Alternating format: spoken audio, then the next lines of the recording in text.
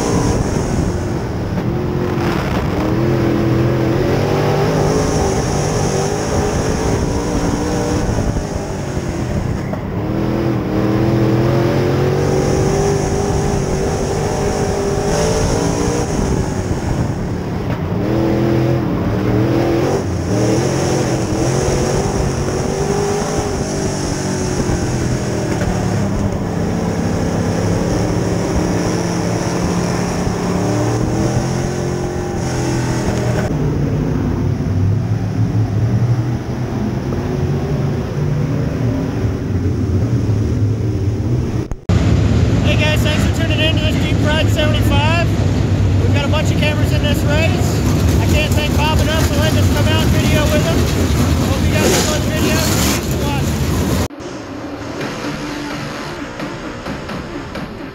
Videography at its best. It's speedway car cams or nothing.